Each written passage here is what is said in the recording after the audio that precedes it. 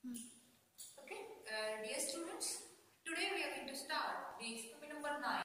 So, today you are going to determine the pH of the given solution. Already in 10th standard, you have performed the experiment based on the pH. Okay, so what is pH and where it is used? It is that pH is nothing but the potential or power of hydrogen ion, power of H plus ion we are going to call as a pH. And you are knowing if uh, H plus ions are more in the solution, that solution is acidic. Okay, if it is less, then it is the uh, what to say basic. From that H plus, from that power of hydrogen, we are going to determine the nature of solution. So where this pH is used, pH is used to identify the nature of solution. And you as an engineer, you must know what is the pH of unknown solution or any water is given to you, water sample, industrial wastewater is there or any domestic water is used. You must know the pH of that solution. So today you are going to determine the pH of given solution. Okay. In today's experiment, uh, seven solutions are given to you like A, B, C, D, E, F and G. So these seven solutions are given to you and by using, so title of today's experiment is that you have to determine, to determine pH of given solution, determine pH of given solution and always remember when you are going to write the pH that time P should be the small and H is the capital H. Okay, P is the small.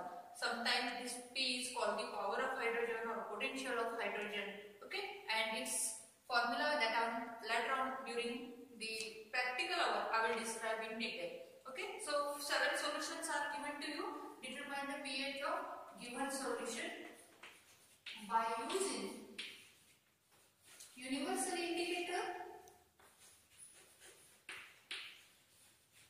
universal indicator and pH meter.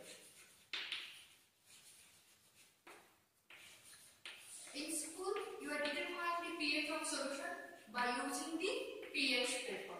Okay, pH paper is given to you, and by using that pH paper, you are going to determine the pH of solution. But now, you are going to determine the pH by using universal indicator and pH meter. So there are the three methods to determine the pH. One is one by pH paper, another is by pH meter, sorry, pH meter. Second is the universal indicator and third is the pH meter. Okay, so third is pH meter. These are the three methods by which you can determine the pH of solution. But for diploma, you are having two methods, universal indicator and pH meter. Already you are used the paper, pH paper in the school. Knowing the pH scale. So pH scale, it originates from the zero. It is start from zero to 14. Okay, so pH scale ranges from 0 to 14 and at the center there is a 7. Okay, when your pH of the solution is 0, when this is the pH. How to write pH? Small p, capital H. When pH is 0, that time your solution is extremely acidic. This is extremely acidic. When your pH is 7, that time it is neutral. It is neutral. And when it is 14, that time your solution is extremely. Alkaline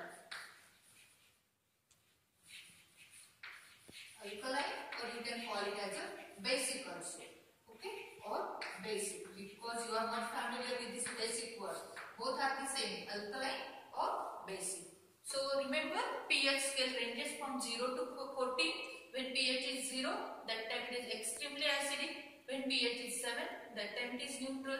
When pH is 14, it is extremely alkaline or extremely basic.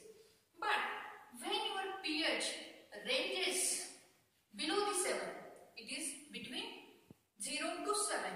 That time it is acidic. The nature of your solution is acidic. And when it is between 7 and 14, that time it is alkaline. Okay? It is alkaline or it is also called the basic. Okay, so there are the three nature of solution. So, so solution nature of the solution.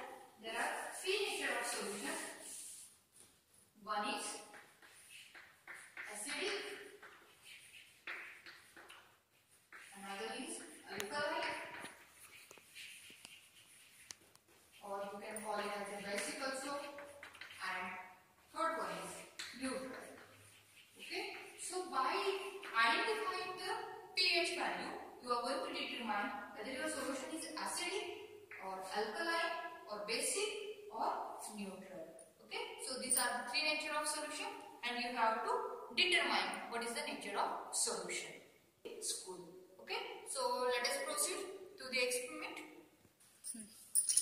Okay. Uh, okay. Uh, so the resources required for this experiment is these are the test tubes. Seven test tubes I have taken. This is uh, you can see A, B, C, D. This is E, F, and this is the G solution. As space is not available, it is kept in the beaker, and this is test tube stand. Okay.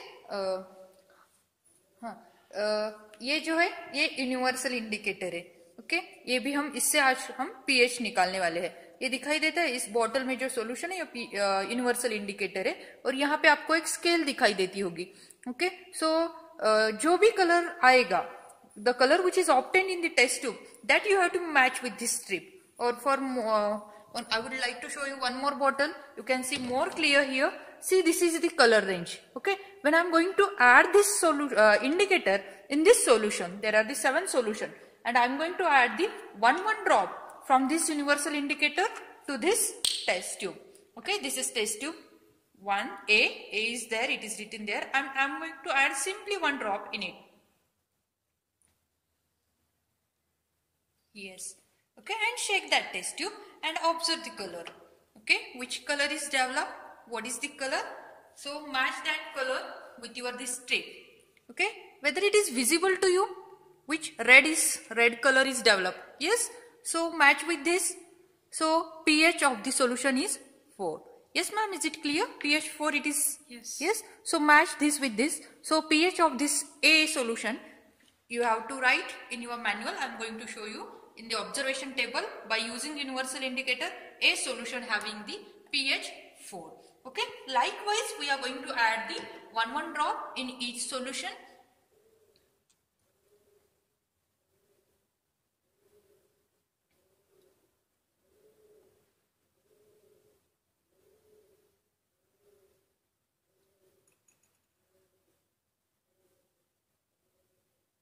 Okay. Now, this is the base B solution. Observe the color. Again it is reddish. Okay. So again its pH is 4. Okay. So A is also having the 4. B solution. See here. B is written here.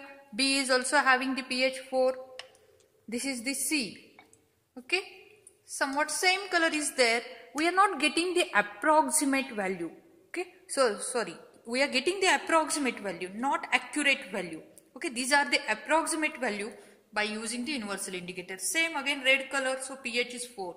So see here A, B, C having the pH 4.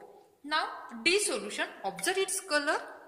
It is blue in color, right? It is blue in color. Compare the color with this strip, coloring strip. Yes, it is near about the pH 10, right? It is pH 10. Blue color is there and you can see here pH is the 10. You have to refer this scale and this coloring code for the identification of the pH. So solution D is having the pH 10. Again go for the E. Okay. So E is also having the dark blue color.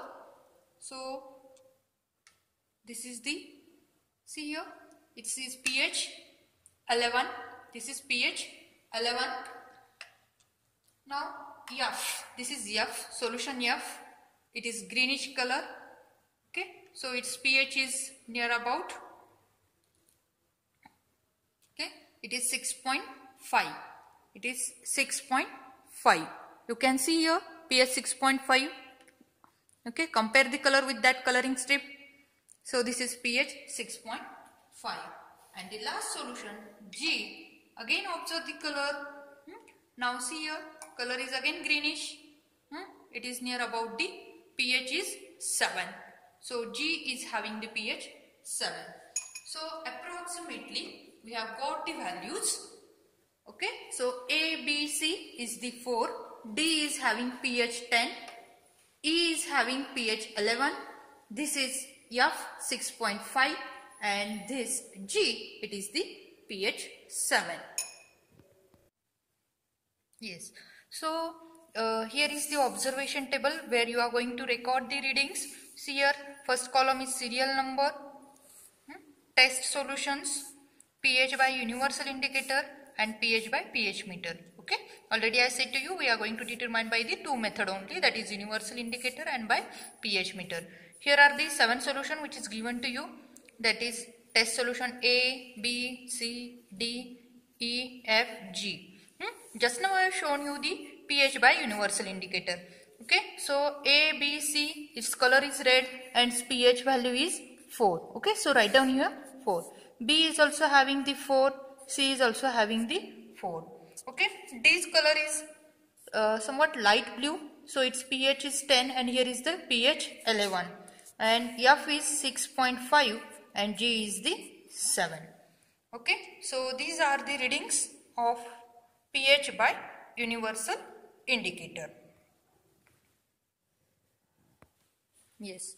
Okay. Uh, now we are going to determine the pH by pH meter. You can see this is the digital pH meter. Okay. This is the digital pH meter. You can see here digital display where the pH is displayed. Okay. This pH meter is also used as a potentiometer when the uh, bottom light suppose when it is uh, downside light is LED is glown that time this is used as a potentiometer. Now we have to use as a pH meter. So it uh, observe it carefully whether the LED from the pH is glown or not. Okay. So this is now acting as a pH meter. pH meter this electrode is connected to that pH meter. That electrode it is called the glass electrode okay? This is the glass electrode. Now you can uh, say ma'am it is the plastic and how you can say this is the glass electrode. But inside that glass plastic there is the glass. This is very sensitive glass is used. You can see the bulb here at the bottom. Okay? Here bottom at the bottom bulb is there. In that uh, HCl solution one more HCl and silver wire is there. Okay? Silver electrode is used in this. Okay? This is the glass electrode. So which electrode is used to determine the pH of the solution. So that time you have to say the glass electrode. Okay. In that which solution is there? HCl. Okay. 1 molar HCl is kept in this and this bulb is very sensitive. It is going to catch the H plus ion and that it is going to show us the reading. Okay. So this is the glass electrode. Okay. Before the experiment we have to standardize this pH meter. Okay? okay? Experiment करने के पहले हमें क्या करना पड़ता है? This pH metre को हमें स्टैंडर्डाइज करके लेना पड़ता है। And we are going to standardize this pH meter using this solution that solution is called the buffer solution okay?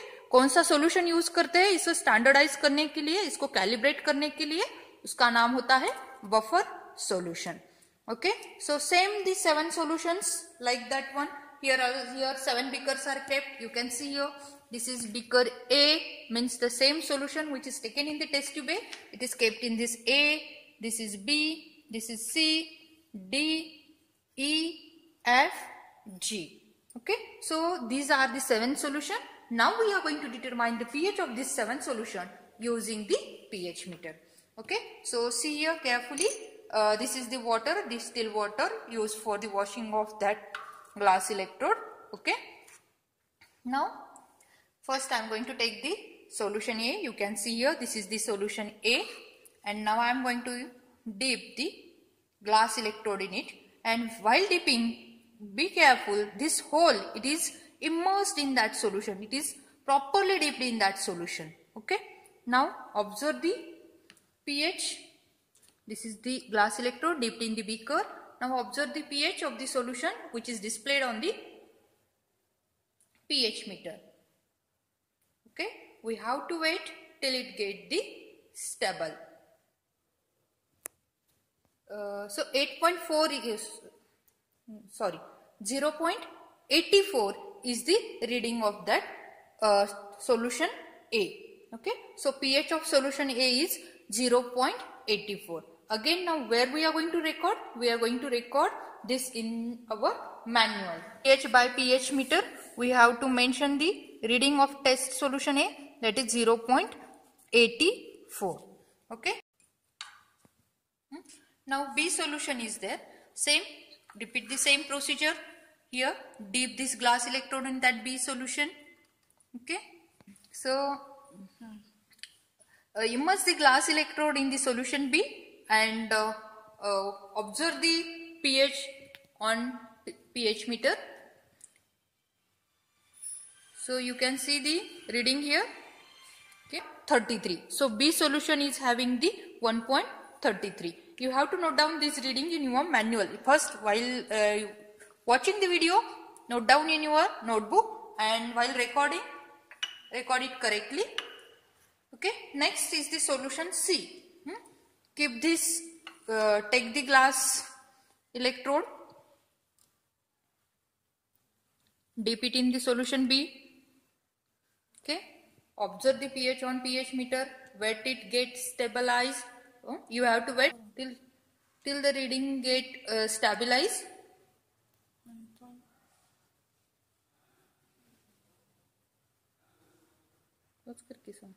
The solution C is having the pH 1.07.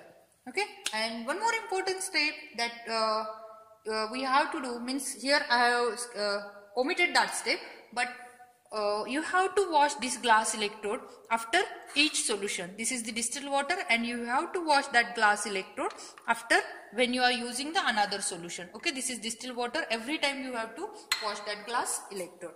Now take the solution D. Place the, now observe the pH on pH meter which is displayed on the digital board that is 88 okay. Uh, next we are going to again you have to uh, again you have to wash the electrode okay? Using the distilled water. Now i'm going to wash it. Hmm? take the another bigger solution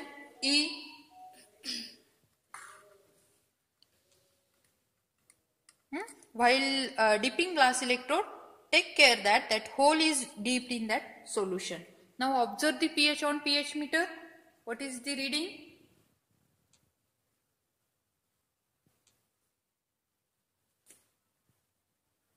Ninety-nine. So solution solution E is having the pH 10.99. Again take the distilled water.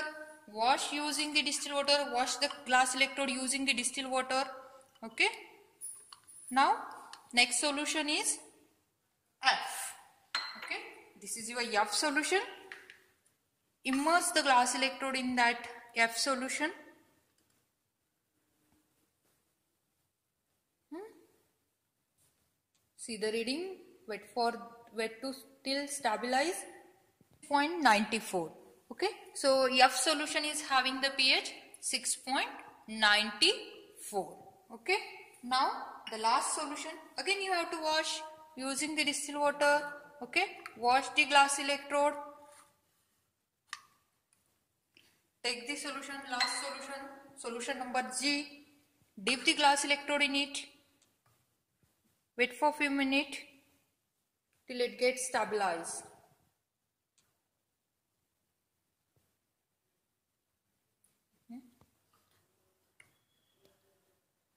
Wait till reading get the stabilized.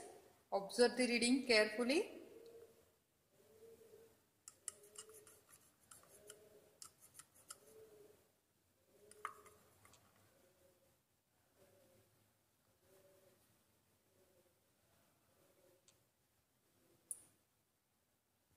So solution G is 6.14 huh?